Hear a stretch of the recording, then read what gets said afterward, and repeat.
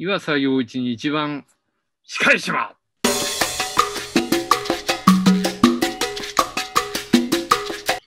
あえ、V3 がとか、ズバッとがみたいな、あの、なんか、子供ながらに悲しかっあはい。あの、まあ、そのあっさり感ね、殉職というか、戦死というか、あっさり感もあるんですけど、で、バババババってし、しかも、あの、あれですよね。敵の兵士、兵士でしたっけ？兵士じゃなくて、ななんか、顔の像から出る光線みたいなんでやられちゃうんですよね、確か。た。あ、そうでしたっけ、あで、まあ一応それを壊して、相打ちでもないですけど、倒れるみたいな シーンでしたけど、あの、例えば出番が少なかったらいいんですよ。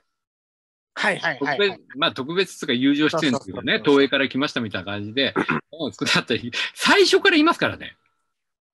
だから割と、出方が、その、森田さん、沖さん、宮内さん、ずっとなんか、こう、ねあれ？こっちもメイン？みたいなね。でサンバガラス的なそうそう、そうそう、そうそうそう。感じでしょ感じです。あの、ここういうとあれですよ、対等、三人対等みたいなね。そうです、そうです。しかもなんか同期っぽい間柄ですしね、役柄が。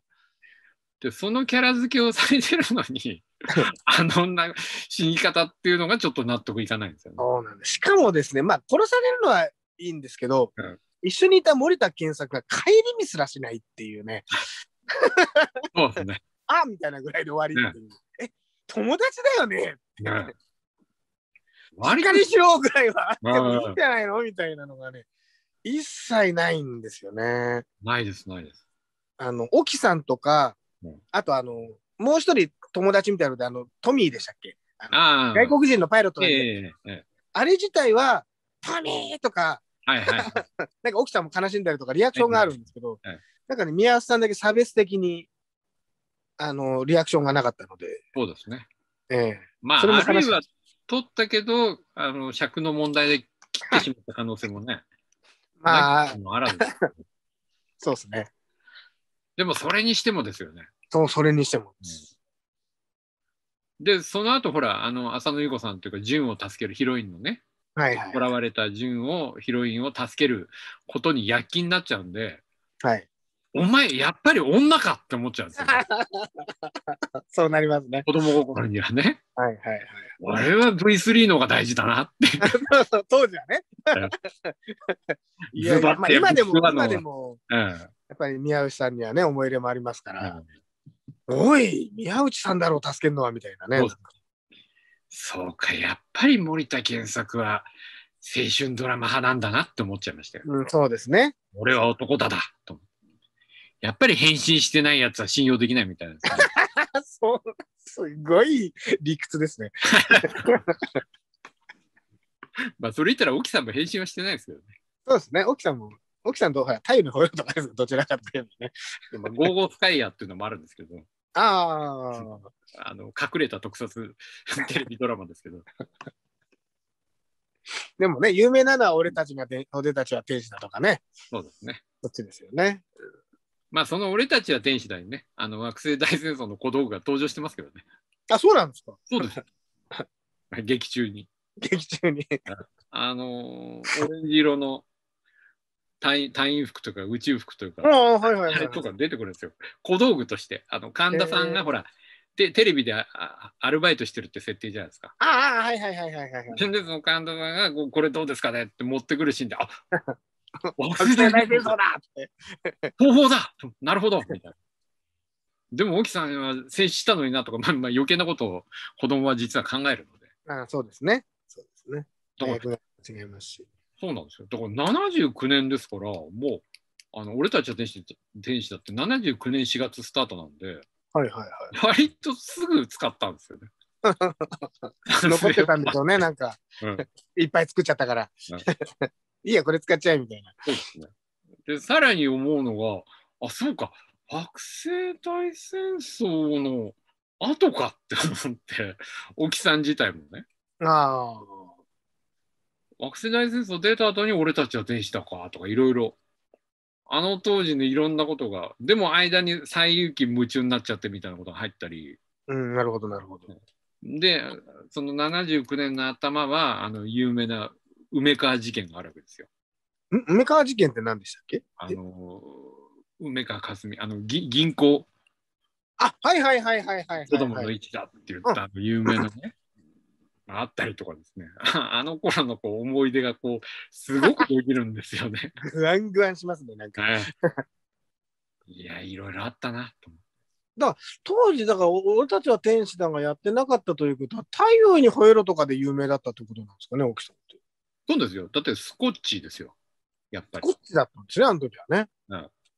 スコッチと、あの、粕野さん主演の姿三四郎。あ、はい、あ、はいはいはいはいはい、あの、実はブルークリスマスコンビだったっていうね。そうですねブルークリスマスコンビっていうひあの、主人公、粕野さんでヒロイン竹下ブルークリスマスじゃねえかって。撃ち殺されたはずなのに、みたいなね。血が青かったはずなのに、みたいなね。そうそうそういうこと思っちゃうね。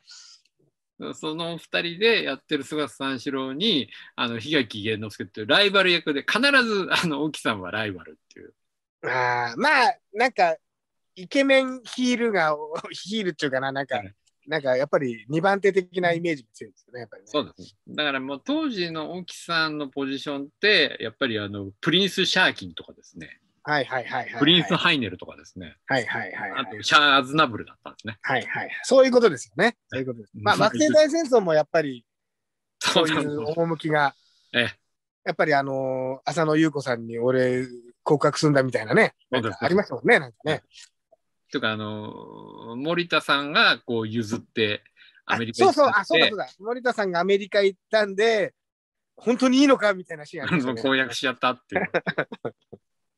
あの時の浅野さんがね、17か18なんですよね。そうですよね。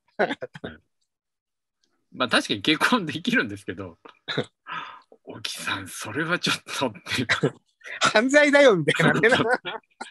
今だとね。でも、あれどう考えても高校生の役じゃないですよね。いやいや、もう社会人ですよ。社会人の役です立よね。うんまあでも、その浅野さんの、まあ、言われればね、全然10 17、18問題ないんですけど、言われなければ、その20代頭に見える、その、なんでしょうね、貫禄というか、大人っぽさそうで、すね。すごいですよね。色気というか、なんというか。あんな17、18いたら困るな、みたいな。そうですね。そうですね。すごい世界ですけど。すごい世界です。ああ、そうですね。あと、惑星大戦争といえば、あそうそう、あのーまあ、登場ちょちょうどね、あのーあれですよ。あの、新エヴァでかかる曲のはいはいはい。に、あの、まあ、本当 本編で流れる、あの、BG のね、はいはいでも使われたあの曲の部分が、あのーね、敵の大魔漢っていうね、はいはい。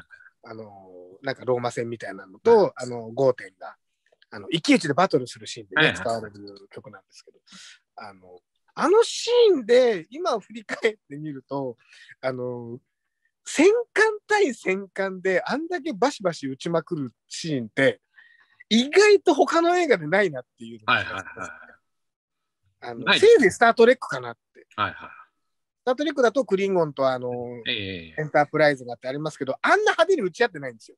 ええ。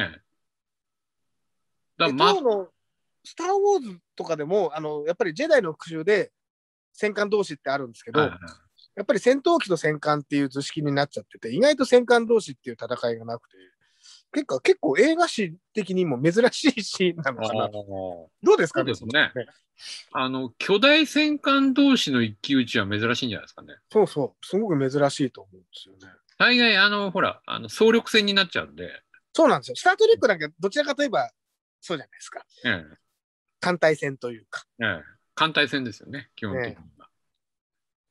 だってほら、ガンダムとかね、あのザブングル、エルガイムもそうですから、で、そのその感激を塗ってロボット同士の戦いが一騎打ちがあるみたいな。そうですよね。その間に無才がドーンとかええ。ですもんね。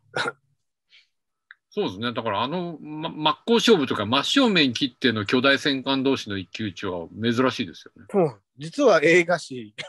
まあ唯一とまでは言いませんけど多分あるんでしょうから、ねええ結構珍しいシーンなのかな。はいで、今見てもあのシーン結構、あの、中野特撮がもう、あの、さえまくってて結構燃えるんですよね。いやいやいや、あの、よくあの短期間でここまで撮ったなと思いますよ。そうそうそうそう。殺人スケジュールですからね。そうなんですよ。そうだから実は、だから、あの、安藤さん、安野さんのあれ、なんかその惑星大戦争の思いがどこにあるか知りませんけど、はいやっぱ惑星大戦争っていう本編を撮っても、あのシーン割と繰り返し見るんですよね。ああ、はいはい。まあ BGM ね、いいですからね。そう BGM いいんで。あと何気にね、その BGM で良かったのが、あのほら、敵が、あの博士に化けて最初、来るじゃないですか。死んだはずの。ね、はい死んだって電話があった直後にで やってきてみたいな。これ、すごいミスリードだなって思いながら。これバレんじゃん早すみたいな。早すぎるよって、あれ早すぎますよね。あれ早いですね。直後ですからね。そうそうそう。ちょもうちょっと考えようみたいなね。あの、だからそれが再現できできてるのがちょっと流れは違いますけど、トチオンガーセブンの、あの、お父さんが生きているって言ったら後ろからガラッと来たっていう、なあの名シーンですよ。まあちょっと手前味噌になっちゃいますけどね、我々のね。あのテレビ版の見る機会があったら、都庁がセブンの第2話をご覧ください。そうですね。アステカイザーをやられてた島村さんが、あの、お父さん役で特別出演されてますんで、ぜひご覧いただけると。あのその島村さんが入ってくるシーンが。割とあれでも本当狙ってなかったですもんね、こっちもね。いやいや、もう全然全く、時間がなくて急いで撮ってたら、そうです。ああなった。あすごい、70年代再現できたと思いましたね、はいこういうことだったんだ。本当こういうことだったかどうか知りませんけど。いやいや、こういうことですよ。もう誰に、ね、どの監督に、スタッフに伺っても、いや、あの時は時間がなくてさ、としか言わないので、そうですよね。その次になくてさっていうのはお金がなくてさっていうね。時間と金がないんだったら、特撮なんかやめればいいじゃんとか思うんですけど、そんな失礼なことは当然言いませんけど、てか、それをまんま我々もやっちゃったっていうのがある。そうですね。なんだよ、やっぱやるんじゃんっていう。まあだからその、あのシーンで、まあ結局その正体がバレてね、あの、はいはい打ち合いになるじゃないですか。はいはい森田さんたちが駆けつけて、はい。であそこであの主題歌っていうかあのテーマミュージックのアレンジ BGM が流れるのが もう小気味よくてですね。これヒーローものになってるよと。そうそう、あのー正体バレる時のアタック音っていうんですか？あのーショック的な音楽？あああれも完全にヒーローもんになってますよね。なんか。そうですね。あの音楽ね、違う方なんですけど、ちょっと菊池サウンドっぽい感じ。はいはいはい あれ、ライダーみたいな感じで。あの怪人が正体を表したり 大幹部が現れる時の BGM の使い方っていう使い方。だそこら辺もあれなんですよね。あの宇宙からのメッセージと惑星大戦争のこの、と、と、ん？あの東方感のなさ。ああ あれ、東映が作ったみたいな感じで。そうです片やね、宇宙からのメッセージ、まあ出てる方が東映人ばっかりなので、うんもう孫なき東映って感じはしますけど、音楽がね、やっぱり重厚だったりとかして、ええちょっと東宝っぽいんですよね。そうですね。だから惑星大戦争の方が東映感が強いのと、もっと言ってしまうと東映変身ヒーロー感が強いんですよね。そうなんです、そうなんです。もうあのね、主題歌つかテーマ音楽のあのメローケン乗せてあの銃撃戦やるっていう。安っぽっと。でもこのジップさ大好きって。これを待ってたんだみたいなですね。映画でこれやりますかみたいな。そう、なんか、あの、うん。まあ、いい意味、まあ悪い意味でもテレビっぽいんですよね。ね だやっぱりあの、なんか聞くところによると、やっぱり夏に企画立てて、はいはい年末公開に間に合わせたっていねう映画じゃないですか。ねやっぱりテレビっぽくなっちゃうんですよね。まあ、だってテレビのスケジュールですからね。特感になりますから。あの1時間ドラマとか、まあ、まだその頃はそんなになかったですけど、テレフィーチャーのはいはい。スケジュールですよね。え90分撮るの？みたいな。きついなーっていう。それで宇宙もん？って話ですからね。そうですね。だから造形も含めて。だから中野さん、まあ、川北さんなんかもね、もちろん絡んでらっしゃいましたけど、やっぱり東方特撮人は相当頑張りましたよね。いやいや。あの、でもやっぱり重厚感はすごいですね。すごいですよね。さすがとしか言いようがない。うん。あの、重さっていうんですか？はいはい。なんていうか、やっぱり、あの、東映特撮とはちょっと違う。うん。うん。まあ、重厚感と言うべきか、なんと言うべきか。なんでしょう、ね。あと、あの、敵の、あの、戦闘機っていうか、あの、円盤みたいなのあるじゃないですか。なんかヘル、ヘルファイターって書いてある、はいはいはい。あの、の、あの、総演が結構、なんか斬新な動きしてまして、はいはいはい。こう、こうヒューンってくるような感じじゃなくて、こう、くるくるこう、ええなんか不思議なカメラワークと相まって変なぞあの操演してるんですよね。うんあれも今見ると、あれどうやってんのこれみたいな。ああ、そうですね。あの、ええ何気に、実は、工夫されてるんじゃないかなと思いそうますけどね、そうそう。あとやっぱり、あのあれは川北さんですよね。あの多種多彩な光線技。ああ、そうですね。メカゴジラ的な。はいはいはい。あれの、こう、なんかかっこよさっていうか、ええメカゴジラばりの。あれもすごくいいですし。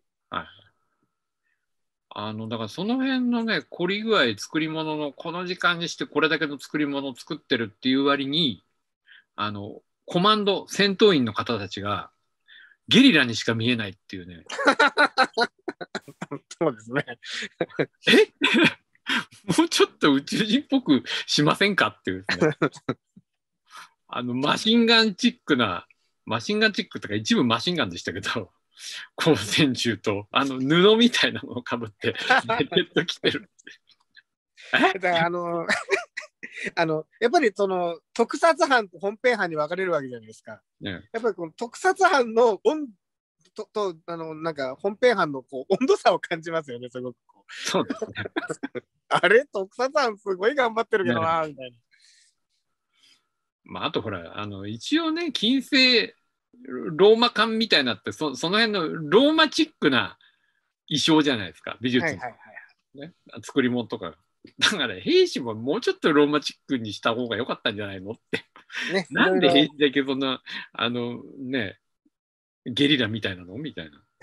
ろそう、戦闘員風でもないんですよね。ねいや、だから、せあれ、確かあの映画、戦闘員っていうか、宇宙人コマンドいたよなと思ってて、はいはい。全然ビジュアルが思い出せなかったんで、はいはいはい。あのそれを認識しようと思って、この間見直したら、あこういうことかっていうのね。だから、あの、いいみたいな人たちがね、ああそういう格好じゃないだけに、そうです、そうです。ちょっと忘れてしまうという。もうテロリストにしか見えないっていうね。そうですね。うんそうですね。まあ、あの辺のね、感覚が、まあ、あの脚本がね、長原秀和さん、修一さん、はいはいはい。大都会とか西部警察を書かれる、まあ、アクションが、まあ、ゴゴジラもね、最初の平成ゴジラというか、84ゴジラもあはいはいはい。れてますけど、だから長原さんの妙なあのテロリスト感覚が出。まあ美術にまでね、とがきで指定はしてないと思うんですけど、はいはいはい。やっぱり長原さん書かれると、どっか西部警察チックなんですよね。なるほどうん。なるほどね。西部警察の一員がもう84ゴジラっぽいんで、ああ、あの、あれ、レディーバード走行車をゴジラに置き換えると、成立する内容ですよ。そうでしたっけ？あの国防上の問題を話し合ったり、はいはいはい。あの核兵器的なことでも多少触れてるんで、ああ、ああ、あこの辺の、もしも日本で大規模テロが起きたたら起きたらどうなるんだっていうね、シミュレーション感っていうのは、あの長原脚本の特徴だなって思いましたけどね。なるほどなるほどなるほど。その長原さんがもうかなりその、まあ、長原さん書かれると必ずテロリストが出てきて、あの国際的に言ったら西部警察の最終回もそうですけど、はいそういう展開になるんですけど、だからその、やっぱり極左なんですよね。毎度おなじみの結論はそこに行くっていう、この、か革命したくてしょうがないみたいな。そうそうだそれがどっか惑星大戦争にも出てるっていうですね。ああ、ねえ。そうなのかな。わかりませんけどからちょっと、ちょっとアクアクションがやっぱり違うじゃないですか。そうですね。ちょっと違いますよね刑事。物のアクションになってるっていうね。そうそうそう。まあまあそこら辺はね、やっぱり監督の福田淳監督のね、はいはい、あのタッチにもよるんだろうとは思います、そうです。ね。で、あの、逆にメッセージの方は、あの、チャンバラプラスヤクザっていうね、はいはいはい。ヤクザアクションになってるって。仁義なきアクションだったっていう。そうですね。あの、あのレーザー光線で撃たれて、あの、のたうち回り方がヤクザが蜂の巣になってるのと変わんなかったですけどね。同じです、同じ。うわーって言いながらこう転げ回るっていうのが、そんな感じなのっていうのがね、あの痛いんだな、レーザー光線ってって当時思いましたけどね。いやいや、でも惑星大戦争、改めて見直しましたけど、普通じゃないですか。倒れてましたよ、レーザー光線受けて。いてーとか言ってないですよ、誰も。宇宙からのメッセージだけなんですよね。あの映画だけですよ。あれ、確か宇宙からのメッセージは惑星大戦争はジャックですよね、あれ、アクションがね。のはずですけどね。あ、ジャックだったかな。ジャパンアクションクラブってクレジットがあったよね。ああ、そうそうですよね。で、でも、メッセージもジャックですけどね。っていうかあそっ、か、千葉ちゃんですもんね。ジャックのトップが出てる。そうだよ。それジャックなわけじゃないな。うん そうだよ。そうだよ。棟梁が出てんだから。そうです、そうです。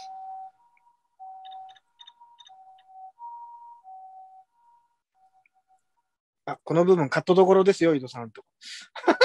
あい今、あの、カットしないでしょうね、きっとね。まあ、このこのまま大事だみたいな。嘘な、まあ、本当？いやいや、わかりませんけど。あと、ちょっと、あの、個人的に、ね、申し上げておきたかったのは、はい、はい。あのですね、菊池太さんというですね、役者さんがいらっしゃるんですけど、はい、はい、はい。この方が解決ズバットで、バーテン左京寺って役をやられてるんですね。はあはあの バーテンの殺し屋っていう。あはい、はい、はい、はい。はいあ あの、いズバットってね、いろんなご職業の殺し屋が出てくる。で、必ず2番だっていう話ですよね。あの一番、一番じゃない、まあ全部驚きだったんですけど、あの、二つ中でもずずば抜けて驚いたのが、あの、コック今平とテニスの仁太郎なんですけどね。はい、はい。あの、コック今平さんは、あの、皿を投げて殺す。それコックじゃなくていいよね。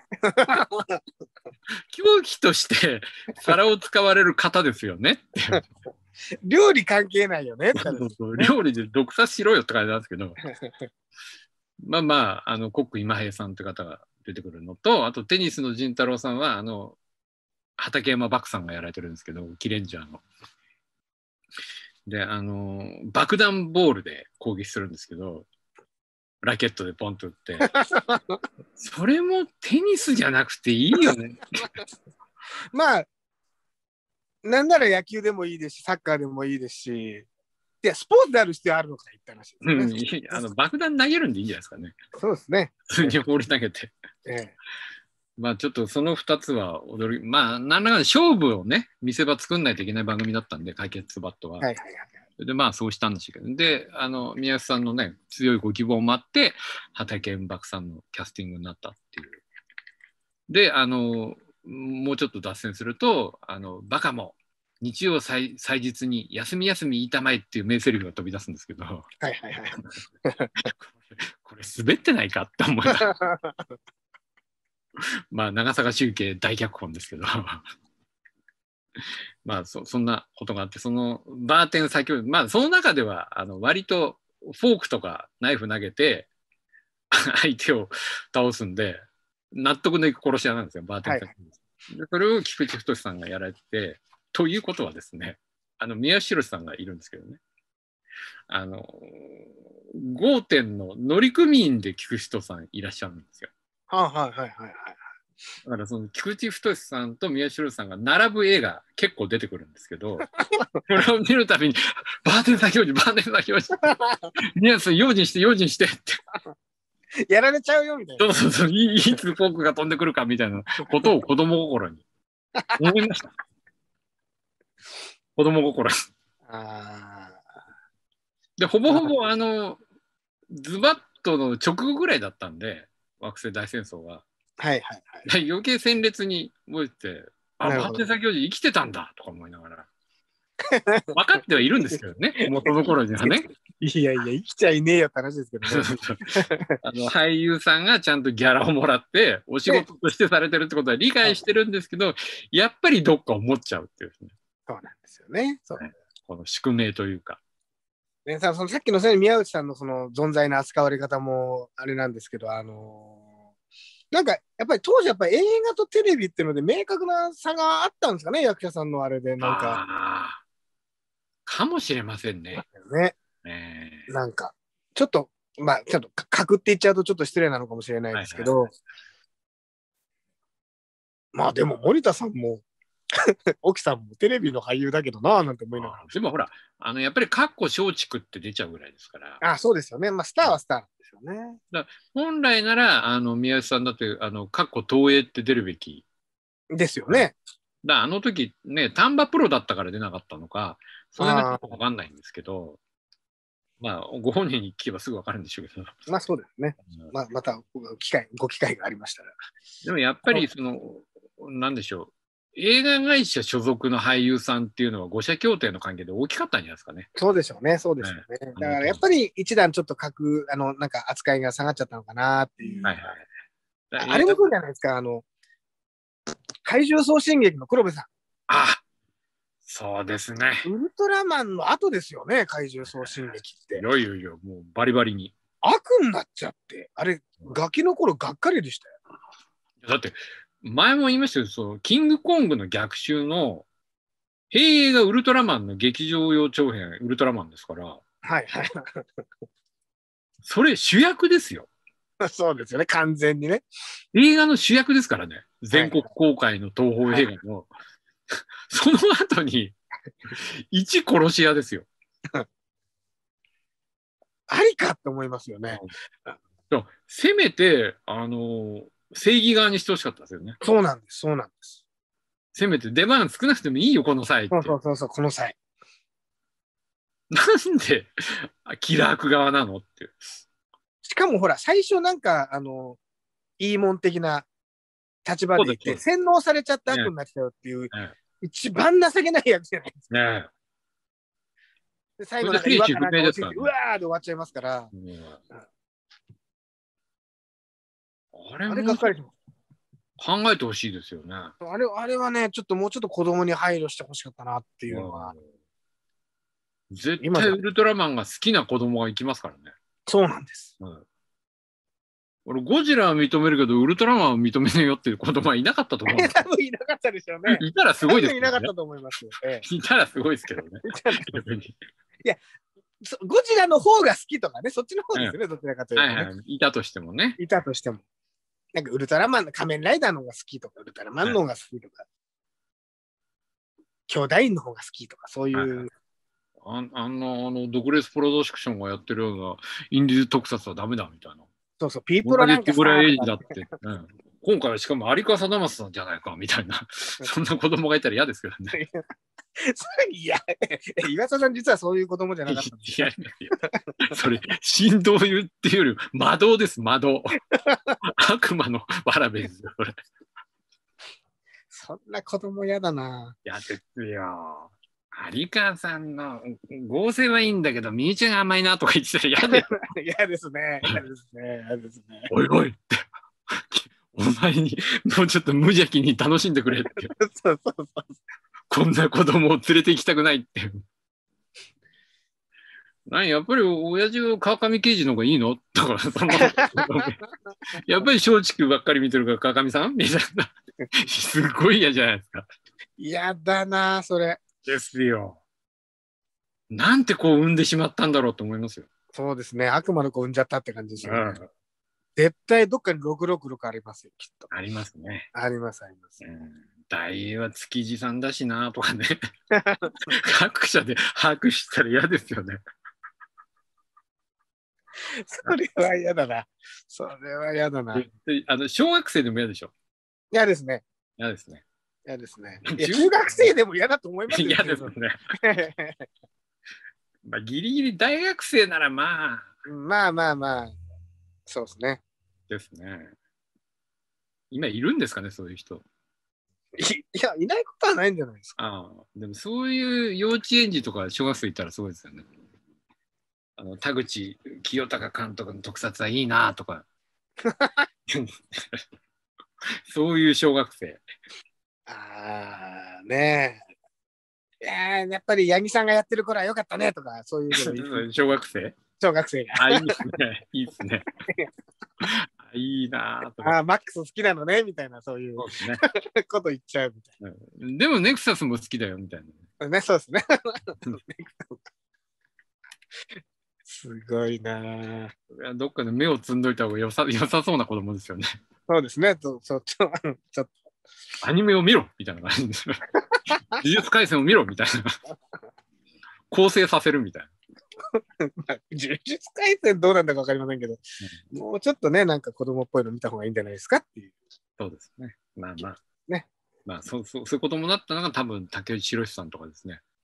あ池田健翔さんじゃないかなと思ってるんですけど、あー、池田健翔さんはそういう子供だった可能性はそうですね。ありあますよ。ありますね。重々あるんで。恐ろしいことですね。まあでもほら、健翔さんもリスペクトされてるじゃないですか。うん、まあいそうんですね。いじゃないかな。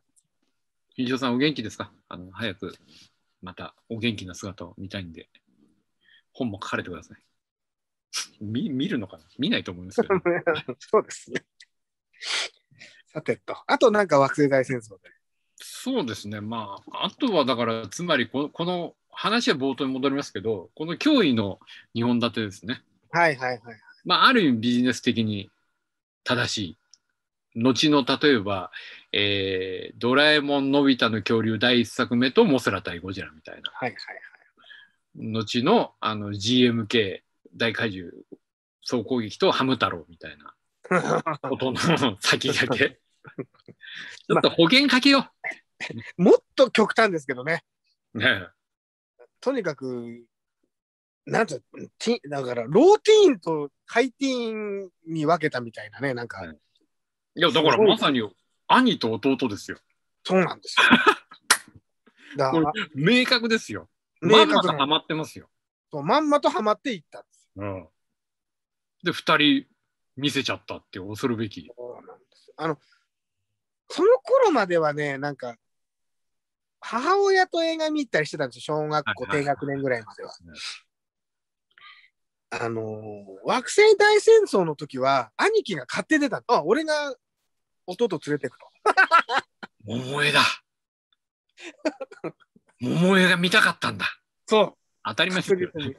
確実に。それまでは兄貴嫌がってたんです。ええ弟なんか連れてくの嫌なはいはいはいはい。だ親に邪魔されずに山口百恵を堪能できると。できる。だ多分兄は兄の思惑があって僕を連れてったんだと。はいはいはい。だパンフレットの時にそれを確信したので、あれって率先してこの人買おうとしてるっていう好きだったんですね。好きだったのでもお気持ちわかります。おいここれは兄貴に取られる俺も買わなきゃってねだったっていう。まあでも、あの、桁外れの人気でしたからね。そうですよ百恵。さんも。言うてもやっぱ赤いシリーズは見てましたから、そうなんです。そんなこと言ったって。怪獣特撮アニメも好きですけど、そうです。赤いシリーズもね。そうです。だから赤いシリーズもなんだかんだで小学生でも昨日の赤い迷路見たとか言ってましたからね。いやいや、言ってましたよ。言ってました言ってました。いや、もうだってみんなこぞって、あの、宇津井さんのあのダンスを真似してましたもん。ああ、そうです、そうです。顔を引きずらせて。すごかったね。顔顔まで真似しなくていいよって。血管切れるよって思いながらやってましたもん。そうです、そうです。緊張のあまりって自分で言いながら、緊張のあまりじゃないよって思いますね。緊張したら踊れないよ、普通って。緊張のあまり踊り出しちゃうわけですから、それは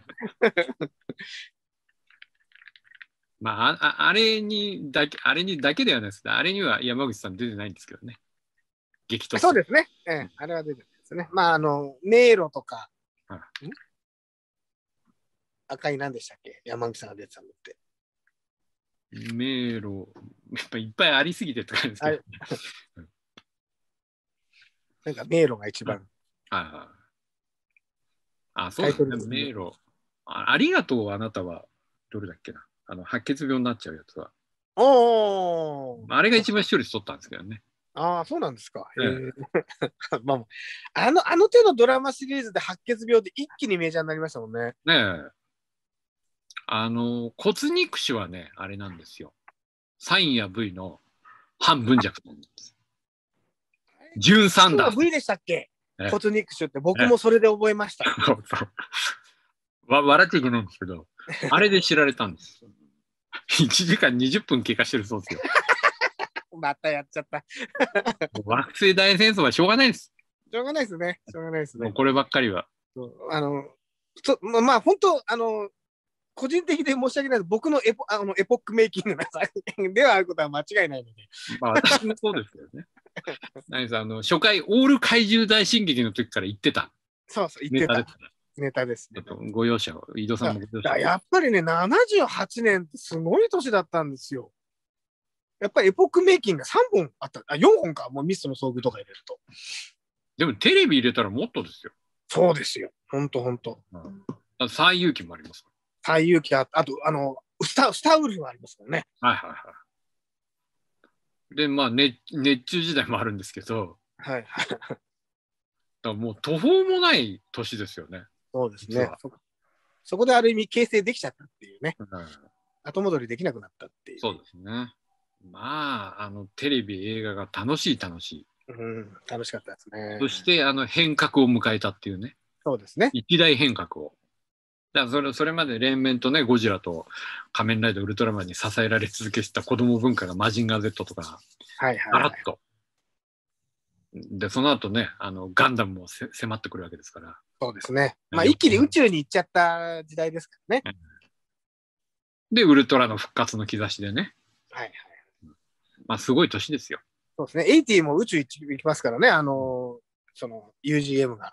そうですね。ね、ヤマあトみたいあんなに頻繁。にね、あの、下手したら、あの初代マンの頃なんて、あの岩本博士が、あれをかハイドロジェネレートロケットを開発しなかったらいけなかったですからね。そうですうん。あの後定期的に怪獣博士までパトロールに行っちゃいますけど、帰ってこれんのとか思いながら。よ。あんなちっちゃいね、あれね。うん UGM の場合はもう宇宙戦艦じゃないですか、あれもうね。うんそれはいけるよね、ぐらいの感じになって。ね。もうすっかり宇宙の時代になって。だから、あのーやっぱりその、ね、先ほどの話にちょっと戻しますけど、その2本立て、この強烈な2本立てが、こう、鮮烈に印象に残って、あの、後々、また手前味噌の話になりますけど、ね、荒木さんの猛烈怪獣。大決戦と、あと、マロ監督の、何でしたっけ？銀銀幕の、なんとかっていうね。あのちょっなんとかって、と、ちょっと俺も忘れちゃいましたけど。私も忘れちゃったんで、一言言いますけど、あの、強烈な2本立てを生むことになるっていう。ね、そうですねちょっと実験映画みたいなのとね。実験文芸映画とパチモン怪獣映画を 2本立てでやってみようっていう。そうそうそうそう。あの時ほら、あもの、エムパイアの、えっと、あの、しゃ何さんでしたっけ？あ、つみさんですか？あついさんね、おらー、いい映画、全然ダメなんだって、あの、同時上位の方怒ってたっていう、ああ、ではい。許せないとか言って、あそうでしたっけ？結構怒ってる。全然忘れてます。あの、打ち上げで飲んでる時に。ああ、真面目ですからね。真面目ですね、あの方ね。実は、実はってことなんですけど、真面目な意外とこっちのあの思惑外のところであのその2本立てに不満だったっていうね。まあまあまあまあ、いや、でも、それは、それはある意味、一般の普通の意見だと思う。そうですよね。